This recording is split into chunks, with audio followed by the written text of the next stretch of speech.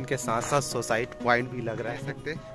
क्योंकि ये no flying zone में आ रहा है सो यहाँ पर ड्रोन वगैरह उड़ाना शक हेलो दोस्तों welcome back to my new blogs so आज मैं हूँ रायपुर का ब्लू वाटर तो नाम तो काफ़ी ज़्यादा सुना था और आने का प्लान भी काफ़ी दिनों से था बट कोई शेड्यूल बन नहीं रहा था सॉरी सो so, आज मैं आया हूँ रायपुर का ब्लू वाटर ये खास एक तरीका झील है जो जिसे ब्लू वाटर के नाम से जाना जाता है और काफ़ी गहरा भी है।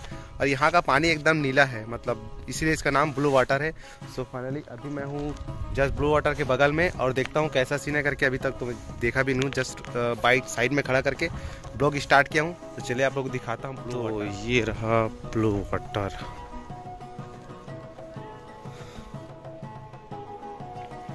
सो so, काफ़ी लोग यहाँ पर आए हुए हैं देख सकते हो। सो so, दोस्तों, ये रहा ब्लो वाटर और ये एल के शेप में है। सो यहाँ से स्टार्ट होकर वहाँ कोने से लेकर उधर गया हुआ है। चलो, उस कोने तक भी चलते हैं। सो यहाँ पर काफ़ी लोग आए हुए हैं, देख सकते हो। फ़ोटोशूट वगैरह भी हो रहा है। सो चलिए, चलते हैं। अब उस साइड में चलते हैं। एक्चुअली उस साइड क्या है, देखते हैं।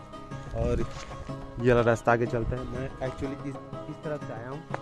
सो so, जिस डेस्टिनेशन में मैं रहता हूँ वहाँ से 18 किलोमीटर पड़ा। सो so, मैं इसका लोकेशन भी डाल दूँगा डिस्क्रिप्शन पे ठीक है? तो हम लोग लास्ट छोर में चलते हैं क्या सीन है वहाँ पर देखते हैं। इधर नॉर्मली लोग आए हुए हैं अक्सर यहाँ पर लोग घूमते घूमने आते ही रहते हैं। तो चलिए वहाँ चलते हैं।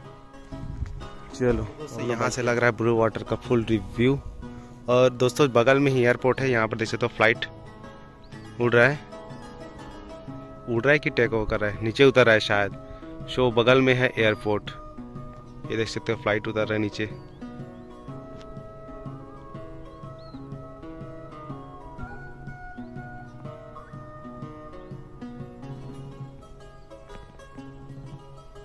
सो so, देख सकते हो पहिया नीचे हो गया। और ये बगल में है एयरपोर्ट।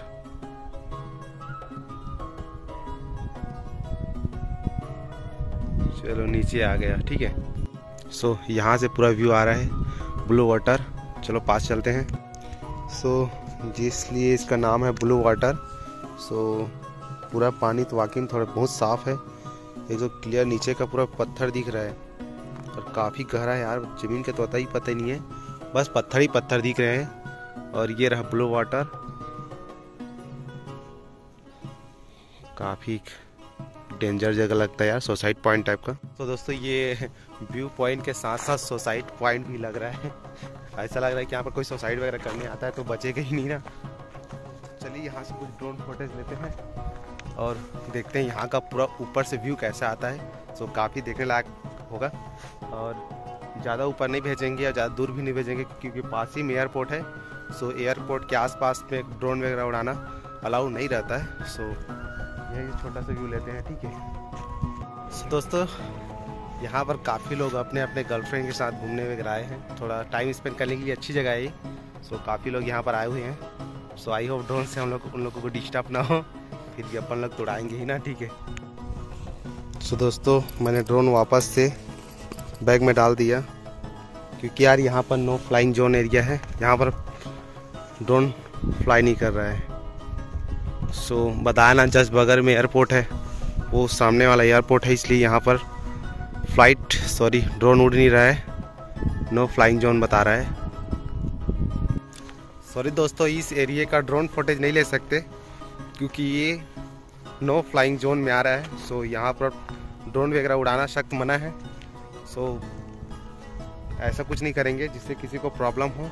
और एक बात दोस्तों, यहाँ पर देख सकते हो काफ़ी चीज़ यहाँ पर खा कर जो है फेंक दे रहे हैं ड्रिंक वगैरह तो उसी सो प्लीज़ ऐसा बिल्कुल मत करना क्योंकि यार यहाँ पर काफ़ी लोग घूमने वगैरह आते रहते हैं तो प्लीज़ थोड़ा स्वच्छता बनाए रखो क्योंकि यहाँ पर देख सकते हो पूरी जगह जगह पॉलीथीन डिस्पोजर पानी पोजी सब फीका हुआ है।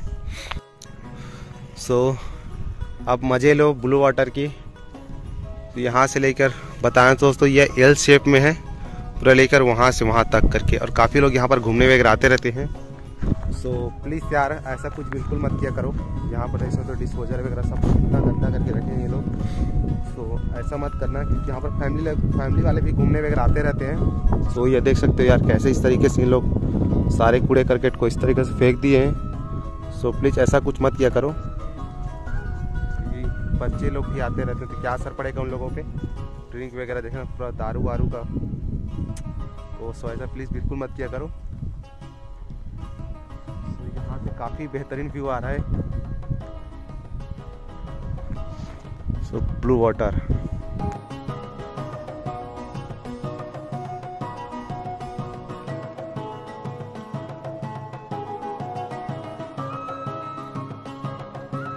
सो दोस्तों ये रहा ब्लू वाटर आराम से आराम से चलते हैं। सो so, काफ़ी प्यारा सा व्यू यहाँ से।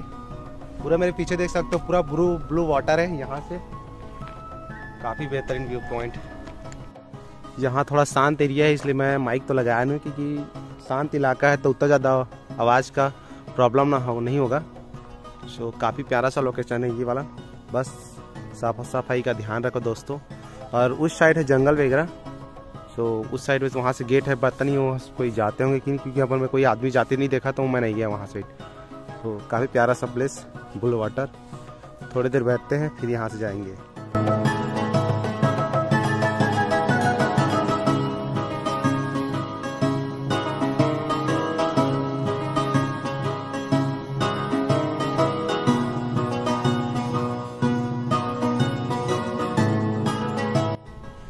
दोस्तों, यहाँ पर काफ़ी बड़े बड़े मछलियाँ हैं इसमें। जैसे मैंने पत्थर मारा ना तो जो मछलियाँ हैं वो लोग आना स्टार्ट हो क्योंकि इतना इतना बड़ा मछली दिखा मेरे को तो।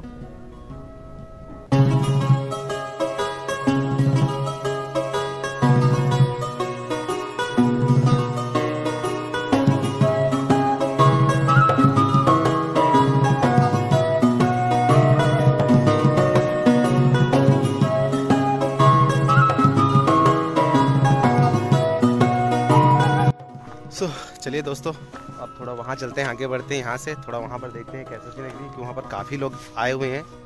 तो चलिए वहाँ चलते हैं वापस से जहाँ से स्टार्ट किए थे। सो so, दोस्तों यहाँ से ब्लू वाटर कुछ इस तरीके से है बट इधर सूर्य का लाइट पड़ रहा है इसलिए काला काला दिख रहा है बट पानी ब्लू ही है।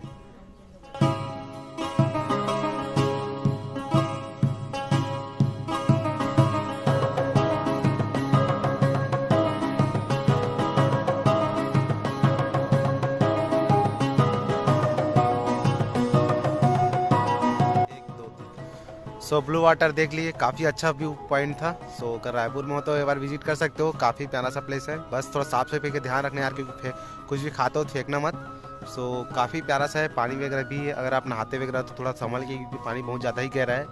और कोई आसपास के आदमी से पूछ लेना पानी के बारे में, क्योंकि मैं तो अभी नहाया नहीं, ना पानी में उतरा हूँ, ठीक है। सो काफ़ी अच्छा प्लेस था अच्छा लगा यहाँ पर आकर के। सो वीडियो का यहीं पर एंड करते हैं। सो वीडियो अच्छा लगा तो प्लीज़ तो वीडियो को लाइक कर देना, चैनल पर नया, चैनल को सब्सक्राइब करके थोड़ा सपोर्ट कर देना। फिर मिलते हैं कोई नेक्स्ट वीडियो में, तब तक के लिए जय हिंद, जय छत्तीसगढ़, फिर मिलते हैं।